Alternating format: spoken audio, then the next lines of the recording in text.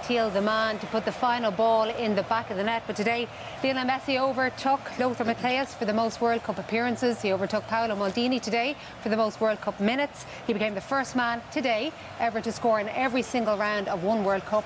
But Liam Brady, that would mean absolutely nothing to him had he not also claimed the Jury No, he's going to he's going to get his hands on it, and I think everybody, apart from French people, will be so so emotional, so pleased. Uh, he was absolutely magnificent in the game. It became a match within a match. Messi against Mbappe. They both produced. Um, I think uh, Ray said before the game sometimes the goalkeeper can be the hero. Martinez made a great save with a few minutes to go in that extra time. Uh, but the cup's gone to the right place. Uh, uh I'm so, so happy. It's funny, Richie, actually. Uh, Liam said, except for in France. Uh, Didier Deschamps suggested this week and said, in fact, he outright said it, that there are even people in France who wanted Lionel Messi to win this. I think if you're a football fan, like, you think of how many moments of joy, elation, this, this, this moments where the, the hairs the, everywhere stand up watching him play. Like, I've countless memories of watching him where you know the result of the game is finished. You know who's going to win. You know who's going to. You stay watching it because of what he can possibly do. And I've been in stadiums where you, every time he gets the ball, the place just everyone's heart rate goes up. And for for all the criticism he's taken over the years, the question about his relationship with the Argentinian supporters, his role in the Argentinian team, his legacy compared to Maradona and others that have gone before him this now answers all of those. And he is now, we're watching scenes now, this is the highest moment of his sporting life. This is the one moment that has eluded him for so long, and this is his last chance. So I think that's why Deschamps and why all of us are saying those kinds of things, because it just feels like this is a just outcome. It feels like he deserves it. That if anyone, anyone, if the game of football is going to give you what you want, this fella's the one who deserves that. It doesn't always work out like this. No one, very few people get the fairy tale ending, but we're watching it now. But there has been this sea change even within Argentina. He wasn't really beloved for many, many years in his home country because he left so early, went off to Barcelona. They, they kind of didn't put him on the same platform as Diego Maradona despite his longevity. Something changed within the last few years, whether it was the, the presence of Lionel Scaloni, the way he took the team, even as far back as uh, 2019 in the Copa America. Apparently in the quarter-final, it was the first time he'd ever sung the national anthem and he's done so again every time since. Yeah, I don't think they've ever really seen him as one of their own, especially moving away so young and yeah, singing a national anthem. Listen, last year I think was a big weight off his shoulders. Uh, from delivering on the pitch point of view, winning this the Copa winning the America. Copa, yeah. Uh, yeah, and it's just carried into into this tournament. I think they're all glad and happy, and I think it's half the reason why we're seeing Messi with a real edge, being vocal, uh, singing, dancing after games. You never see him really showing any emotion at all, um, and it's very apt. I think today that we could say, I totally agree with Liam, it's probably the best final ever, with the best player ever in it, uh, lifting the trophy. Football romance, you could say, touching on before the game, it's absolutely not dead uh, with him winning today. The stars are aligned. Again, you'd have to say they've played five out of the seven games in this stadium. It's like a home ground, 40, 50 Argentinians, and absolutely uh, they've deserved to win it. They have an edge. I could use more uh, not so pretty words to describe them, but an edge and just a willingness to die for each other, die for the cause. Argentina, this is, and if you could bottle it, uh, Joanne, I tell you what, you'd make a lot of money because not many teams have it, and usually the teams that do have it are lifting trophies. And they've had to dig deep as well. Think back to the opening game, beaten by Saudi Arabia, and the reaction at home, the reaction internationally, the reaction everywhere to that. And all the players said going into the game two against Mexico, I think it was, were really, really anxious, too anxious, overly anxious, and they've managed just to deal with all of that to get to this point where they've just won the, the, the greatest final I've ever seen. There's a manicness to it, isn't there, Didi, to, to what Argentina do? I mean, you heard Damien there, and he, he was saying that if you have it, then you'll usually end up winning. But surely it's, it's, it's quite volatile. It could go either way. Have they just embraced it and got it the right way? Yeah, they, I think they just had a, had a mix in their team. They, they knew how to defend. Uncharacteristically, they, they uh, conceded two goals again when they were winning by two goals. They probably should have put the game to bed earlier. But I think the first game just united the whole country and the whole team because, and I said it at the time when they when they left for the game against Mexico, there was a distinct possibility that they come back to the hotel with the tournament being finished. And when you stand together and when you get through adversity, it gives you so much confidence and belief in each other. Um, and they wanted to do it for him, and I think they gave him the, the extra edge. I actually saw him about 10 years ago at Wembley when Barcelona played against Manchester United for the first time in the flesh, and I fell in love with him on the day. Um, and as a football fan, if you don't love this man, what he's done on the football pitch, you're probably not. And um, to see him lift the trophy, I wouldn't be surprised if he retires tonight.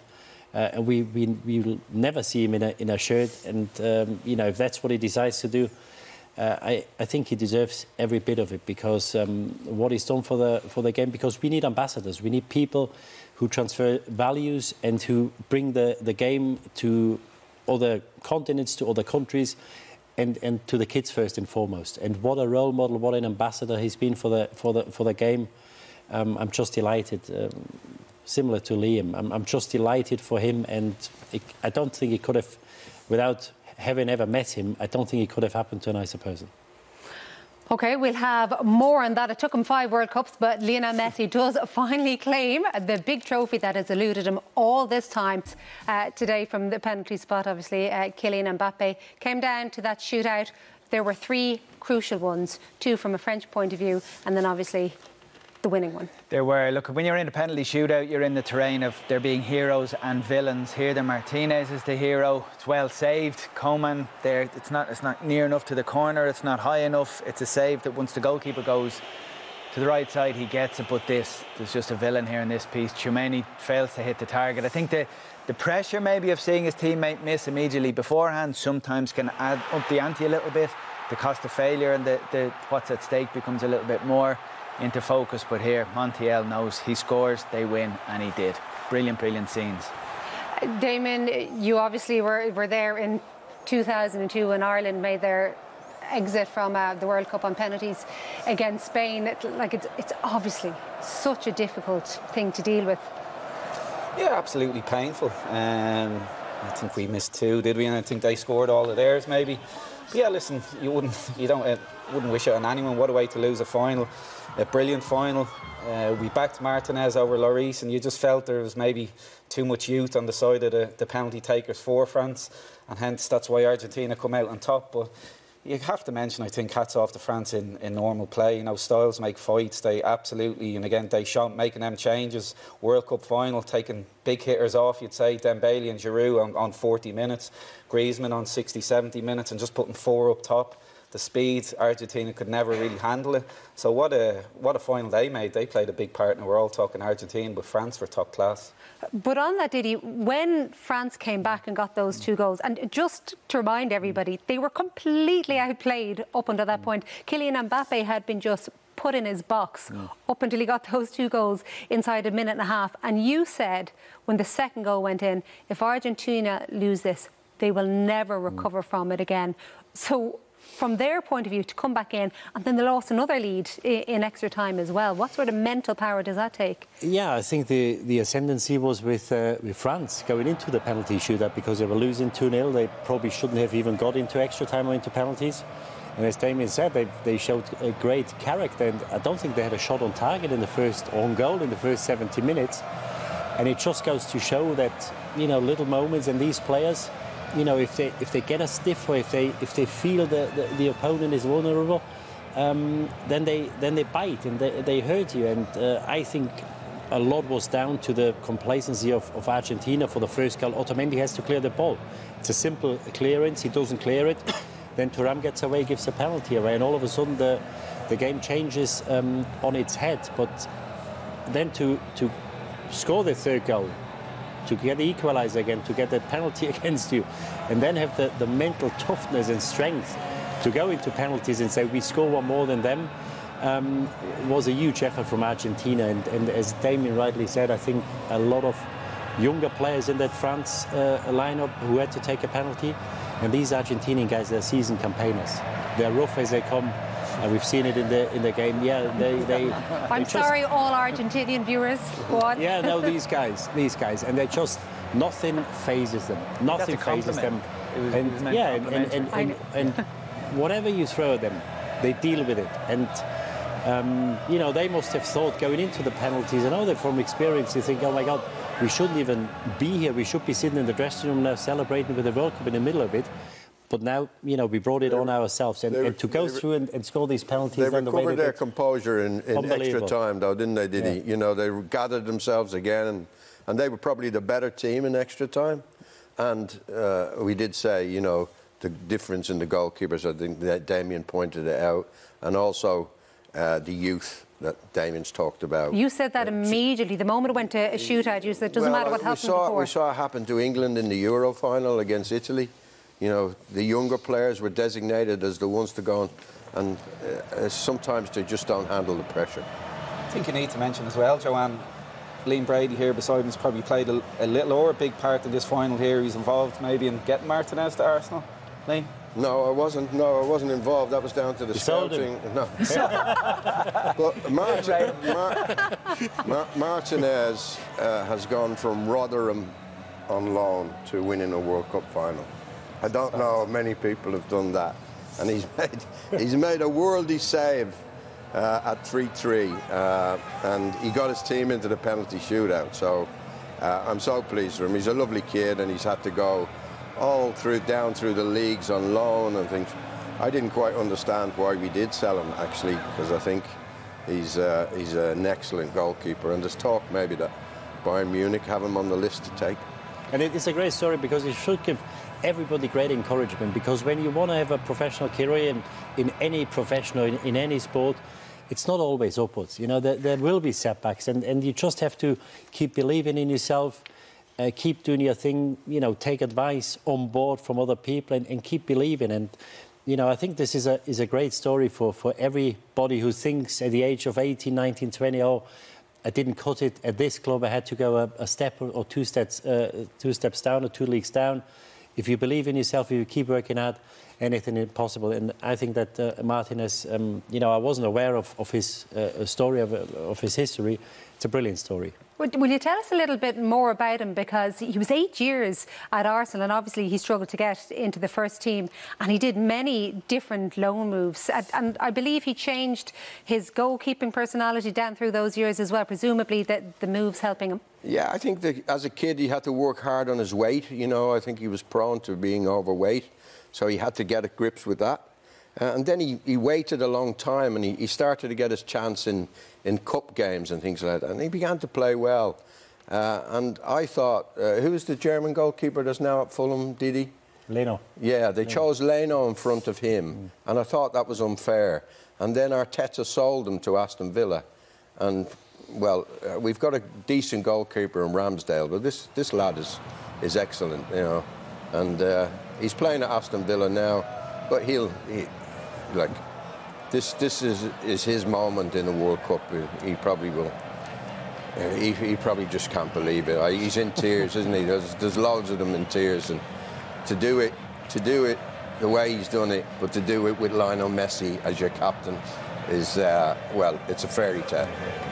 And, and to do it even, Richie, given that they had to come back from all of these knocks that they've taken from, as D- Didi was saying, and a lot of the Argentinians have said, that defeat to Saudi Arabia was, was almost a game changer from a World Cup journey point of view.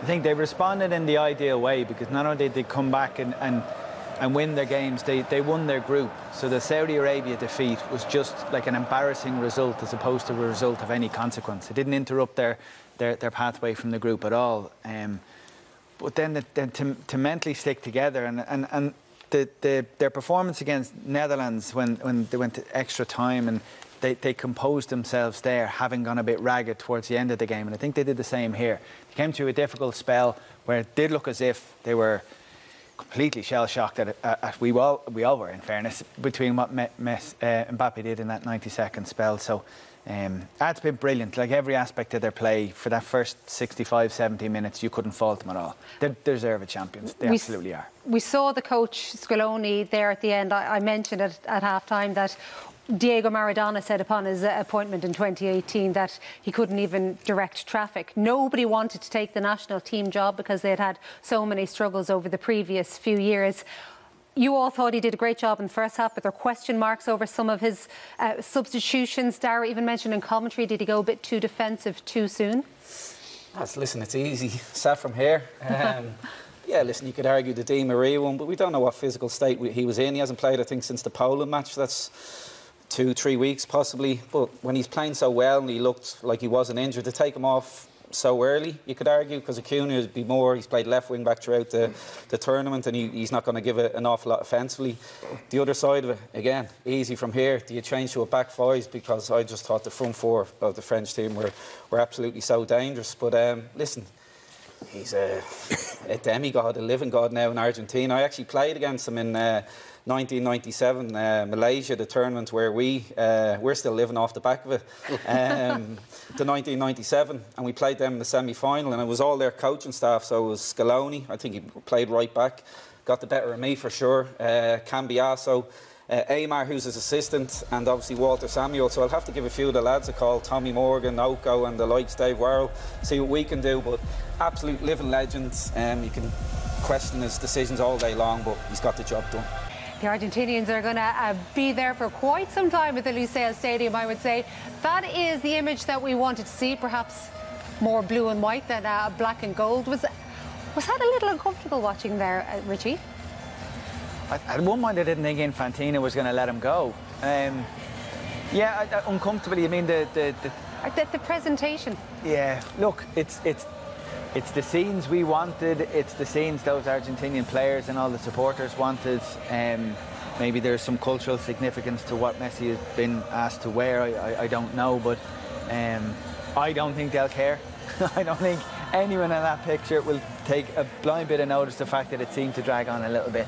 It's uh, wonderful scenes that they, they, they, they fully deserved as a group and him as an individual more than any. Yeah, Didi said that um, Lionel Messi should have held on to the trophy. It all went back to the first half when Argentina were the dominant side and they scored what Liam Brady called the greatest goal in World Cup final history. I don't think you can argue, Joanne, yeah. Um, it's probably up there, you'd say, with 1970, Carlos Alberto, Brazil. Um, you know, I think it was the fourth goal, iconic. You still see it now on show reels, and this will be the same in 20, 30, 40 years to come. Di Maria, divides uh, opinion with a lot, an awful lot of people. Played for the biggest clubs around the world: Madrid, Juve, Man U, Paris. Uh, it was a masterstroke from the manager today, playing him on the left rather than the right, uh, because they needed De Paul to double up with uh, Molina on Mbappe. But yeah, just shows you transition, first pass forward, one, two touch play. It's everything you coach. It's everything you want from your team. Absolutely outstanding goal. Um, and credit to him because, like I said, he does get a bit of stick, but on the biggest stage of all, when his whole country, the pressure he's under, he goes and delivers Joanne. So absolutely outstanding. And listen, you can talk till the cows come home. Yeah, he could have stayed on longer, but he's affected the game, scored a goal, and set up one. And we saw early on as well that Lionel Messi clearly enjoyed having Angel uh, Di Maria there as well. A lot of talk about Messi, inevitably, as there would be. Bizarrely, heading into this World Cup, even though it was his fifth, he had never scored a knockout goal, just like Cristiano Ronaldo. Made his debut back in 2006, coming over on as a substitute against Serbia and Montenegro. Yeah, it's his fifth World Cup, and, and this was always used kind of oddly as a stick to beat him with. He hasn't yet won a World Cup at Argentina. He hasn't followed in that man's footsteps, and he hasn't given the kind of influential performances that get his team across the line. And I always thought there was an edge of real unfairness about it because whatever about Maradona did in 86, you can't win a World Cup on your own. You're reliant on a squad and a manager around you. He broke in in 06 as a teenager, and even then, like 06 is a long time ago, he was being spoken about as somebody who could potentially do what he did this afternoon. And in 2010, like Maradona was the manager. Maradona is a lot of things, but he's not a manager, and they had absolutely no chance with him in the in the managerial position to do well. And obviously in 2014, they came so, so close. They got to the final um, and came as close as you can do without winning it. Um, but oddly, he got player of the tournament there, it just still eluded him. So I'm glad today because there is some people coming into this game to talk until he does this, he doesn't take his place. I don't know where exactly, I don't know in what pecking order, but there was something lacking from Messi until he won a World Cup, and he's done it today. So he's been superb. That was the 2014 final, almost last kick of the game. Could have got something for Argentina, and uh, And there were signs today that these were the scenes we were going to see again. Like that game ebbed and flowed today. It was, it was, it was brilliant, it was memorable, it was superb. But there must have been moments today where Messi thought, and all his teammates and all the fans, here we go again. I'm going to go up now and I'm going to, and I'm going to receive a re- runners-up medal. Um, I think this was in 2018 where Argentina were a rabble. It didn't matter what he did in that tournament. It was chaos, if you remember. It was a real top-heavy team, load of front players, no balance. And then today, yeah, and then today, yeah, all that pressure on him, and he still managed to get the vital goals. He still managed to be involved from start to finish. And you were even saying, uh, Liam, because heading into this, even though we mentioned Griezmann and the influence he'd had on France throughout the tournament, all the big pressure on Messi and Mbappe, the pressure of the number 10. Yeah, and down through the years, like my first World Cup, my memories are this. Geoff Hurst, hat trick in the final, number 10, Pele against Italy in the final. Uh, he was undoubtedly the greatest player in the world at that time. This was Kempes, led the Argentinian forward line in 78. Michel Platini, one of the great number 10s, never won it. Uh, went close, very, very close. Uh, this fella here, we talked about 86, and uh, he had some good players with him, but he did win it on his own. uh, and uh, you know, we were wondering whether Messi would join these. Because some of the great number 10s haven't done it. Roberto Baggio missed a penalty in the penalty shootout in uh, 1994. Uh, Rivaldo, uh, he did it and it just would have been a shame, a, shame, or not a shame. That's uh, that's not the right word. It would have been a tragedy had Messi not joined these number tens, like Zidane, uh, like Maradona. Um, you know, that's Zidane losing a World Cup final. Totti winning one. 2006 in Germany when Germany were likely to win, did he? Yeah. Uh, Neymar. That was is very he, enthusiastic, Is he ever yeah. going? is he ever going to win it? Mm, probably not now. I think he'd do well to play another one. Maybe this was his chance this year, but the Brazilians went out a bit overconfident. Mbappe, he's already got one under his belt. He very nearly got another one today, back to back. And a World What a Cup final player. hat-trick yeah, as well. What a player. He's the heir to the throne, isn't he? And Well- this fella here, well, you know. Get in there. And I thought that was going to be the winner. That would have been probably more fitting than a penalty shootout. but he had to go through the enormous pressure of the penalty shootout, which he handled great. And as I say, you know, for him to join the great number 10s is justice. He wasn't the only one who handled the pressure of the penalty shootout well. And in fact, if you were to pick a hero really from today's game, might it be the man we already spoke about with the, the one on his back? Yeah, you don't win the World Cup with, a, with an average goalkeeper, and this is a minute from time in extra time. What a save this of uh, Kolo Muani. He's clean through, makes himself big. Uh, brilliant save. And if this goes in, uh, it's all over. And then uh, the first one goes in, and he actually got out of the three penalties, he got to two of Mbappe got a hand to it. Um, but he made amends with the next one. Coman saves this one.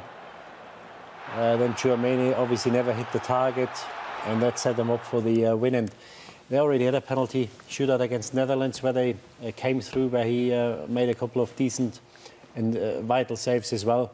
Um, and I think they'll all, all thank him tonight because if it wasn't for him, there probably wouldn't even have been a, a penalty shootout after winning 2 0, after winning 3 2.